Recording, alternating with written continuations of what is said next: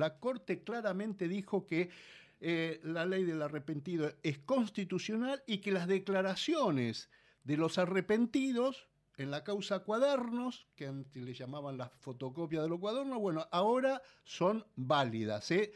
No hay otros, eh, ojo, hay otros planteos en la Corte este, que están pendientes, pero este, esto que muchos empresarios están tratando de borrar con el codo, lo que escribieron con la mano, la Corte dijo no, esto es constitucional. Vamos a hablar justamente este, con eh, uno de los abogados defensores, porque entre, entre otros, los que, van a, los que están involucrados en esta investigación son ni más ni menos que el contador, el que conocía todos los chanchullos que tenía el matrimonio presidencial, el matrimonio de los Kirchner. Estamos hablando con, vamos a hablar con el abogado del, contador Víctor Manzanares, que es el doctor este, Roberto Herrera y que gentilmente nos atiende. Doctor, buen día. Marcelo Orlando lo saluda. ¿Cómo anda?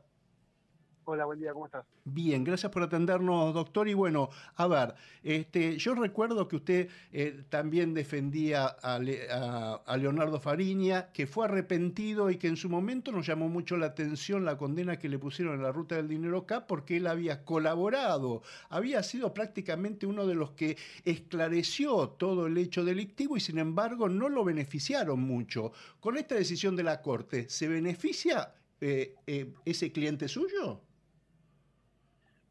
En realidad, vamos por parte, lo que es Fariña, ya la condena ya está eh, con, la última etapa, que fue lo de casación, eh, donde sí hubo una reducción en, la pena que le impuso el Tribunal Oral 4.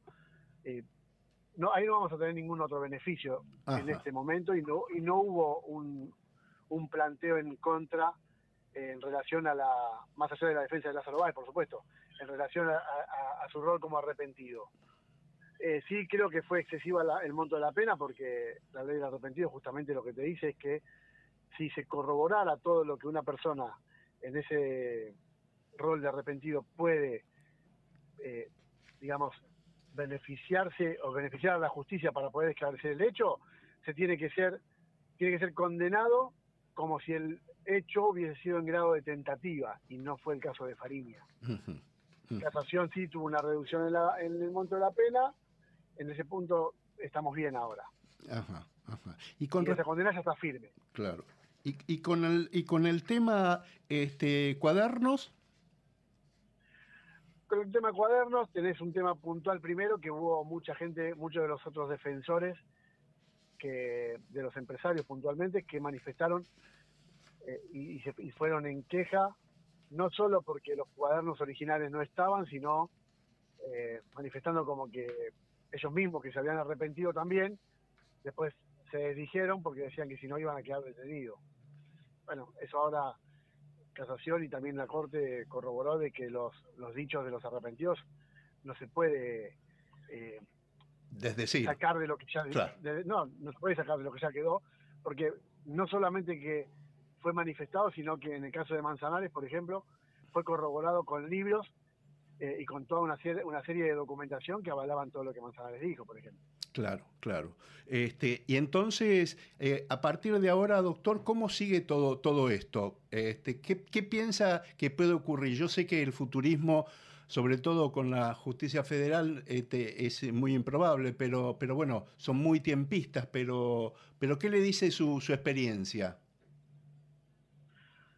No, nosotros ya tenemos fecha ahora para hacer eh, el ofrecimiento de prueba en lo que es la causa cuadernos. Ahora hubo una prórroga de 30 días más por el pedido de los defensores oficiales. Eh, y después próximamente pondrá fecha el Tribunal Oral 7. Claro. Y, y, con respecto al, tema, ¿usted también lo defiende a, um, Víctor Manzanares en la causa eh, Los Sauces Otesur? Sí, y también a Leandro Báez. Y también a Leandro Báez. Ahí, este, bueno, también ahí hubo un revés judicial, ¿no? En donde este, se dijeron, no, el sobreseimiento está mal dictado, hay que este, ir a juicio oral y público.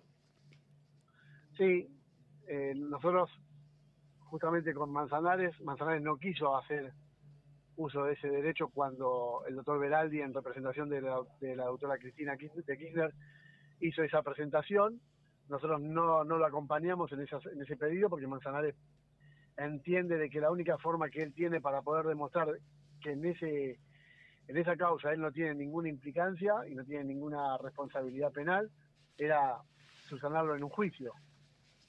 Entonces, nosotros no vamos a ir no vamos a recurrir ahora a la Corte Suprema por eso.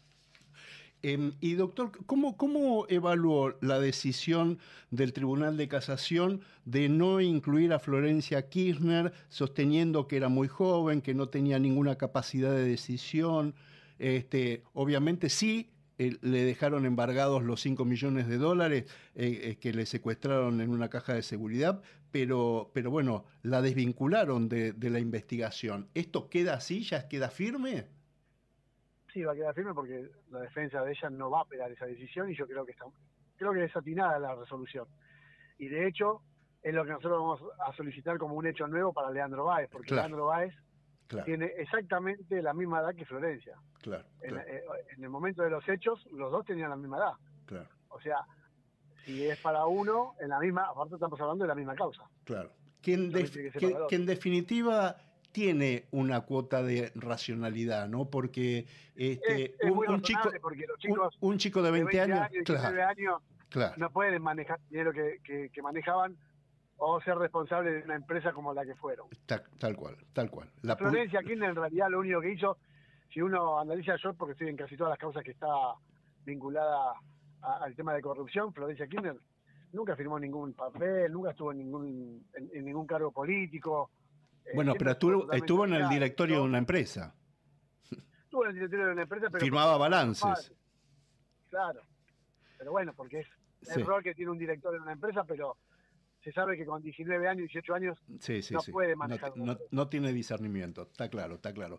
Este, em, doctor, eh, siempre lo digo, ¿no? Eh, lo grave de todo esto es que eh, fueron hijos de empresarios corruptos, fueron hijos de funcionarios corruptos que no tuvieron este, el, más mínimo atino que no involucrar a sus hijos en sus chanchullos, digamos, ¿no? Porque esto es un, denominador común. Romina Mercano con Alicia Kirchner, los hijos de Lázaro Báez, este, eh, los hijos de, Ricardo Jaime, digo, todos los de, Julio De Vido, estaban todos y son los hijos de, digamos, ¿no?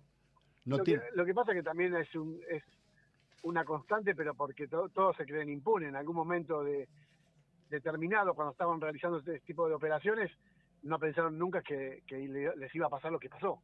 Tal cual, tal cual. Doctor, de paso, que lo tengo, lo, exprimo. Hubo un escándalo judicial, esto de este, la, detención de, Chocolate Arrugó, este, y, y que insólitamente y rápidamente eh, la Cámara de Garantías de, La Plata dejó en libertad a, este eh, dirigente del Partido Justicialista, Julio Ribó, este, por, porque hubo un error este, en, el, en el procedimiento policial. En el procedimiento policial, sí. Sí. Este, esto de que cuando hay la policía no puede actuar infraganti. Si, ve justo para todos el eh, esta resolución que, tomó la Cámara, eh, estaría muy bien, pero no, no es igual para con todos los delitos. En realidad, la policía, a mi entender, por lo poco que vi, porque yo no estoy en esa causa, entiendo que actuó bien porque la detención que se produce es porque lo ven una actitud sospechosa sacando varias tarjetas y ahí es donde lo detienen. Entonces, el delito es infragante. Está en plena flagrancia el delito o sea que el, el accionar de la policía está bien. Sí, bueno. No, habría que conocer más en detalle lo que es el, procedimiento en sí para ver a qué es lo que hace referencia a la Cámara para poder dar la libertad. Bueno, la, la Cámara no solo eso, sino que ordenó devolverle las tarjetas, las tarjetas que no estaban, no estaban a su nombre, ¿viste? Las tarjetas son personales. Eso es un disparate. Este, las tarjetas que no estaban a su nombre y le devolvieron la plata secuestrada. Una cosa que... Este, pero bueno, eh, tenemos jueces que, este, que bueno, que, que, este, realmente Sería bueno protegen... todas, las, resoluciones o todas las apelaciones que llegan a esa sala son miradas con la misma vara, con delitos similares, porque no son todos los delitos iguales, pero sí también tenés muchos delitos que cuando llegan a la Cámara las cámaras mayormente actúan como escribanía, sin revisar absolutamente nada y confirman todo lo que hacen los jugadores de primera instancia. Tal cual. Este, ¿Usted le, tocó actuar en alguna vez en la, en la provincia de Buenos Aires? Sí. Ajá. Eh, dicen, Que, que, dicen que la justicia ahí es eh, terrible, que está gobernada por la, por la política. Hoy tengo una causa que es un poco también complicada con la, no sé si conoces al padre Bachi de la Villa Palito, eh, era un cura que ayudaba mucho a los chicos con el tema de la drogadicción, y de hecho es con el cura que se equivoca el otro día Massa, sí, exactamente. dice que tomó mate con él cuando había fallecido hace tres años. en el 2020 por COVID. Sí. Bien. La hermana de eh, fue detenida por una causa de droga, eh, en el cual ella siempre lo ayudó al hermano, ayudaba a sacar a los chicos de, esa situación de calle y del tema de las drogas del barrio. La hermana tenía un local vacío, lo alquiló hacía unos días, eh, precisamente ocho días ya llevaba alquilado. En ese lugar, en ese local, encuentran un kilo y medio de marihuana, dos paquetes de marihuana, y con, con una gran, la verdad que no sé cómo decirlo, pero eh, la policía actuó, a la gente que encontraron adentro del local, a la propietaria del local, digamos, que estaba alquilando, y a la empleada la ponen como testigo, y a la dueña, que es la hermana del padre Bachi, van a su domicilio y la detienen. Y le ponen eh, como que ella copiaba droga ahí, cuando ella no tenía la, la, la no tenía la, la tenencia del, local. Claro, terrible. Eso lo hizo provincia. Y, y automáticamente los, testigos que fueron eh, dicen que no son vinculantes, entonces la dejaron detenida y le, bajaron la prisión preventiva. Entonces, la provincia trabaja como quiere, hace lo que quiere, con la policía en, su conjunto también. No tenés una tarea de investigación clara y, y llevas y llevas detenido a una persona por ser la propietaria, porque no era la que tenía la cosa, no era la que tenía, no poseía el, local. Y las personas que estaban dentro del local la dejaron como testigos. Una locura. Una locura, sí. Doctor Roberto Herrera, gracias como siempre, gracias por estos minutos o testimonios judiciales. ¿eh? Buen domingo y hasta la próxima. Que tengas buen domingo, hasta luego. Gracias.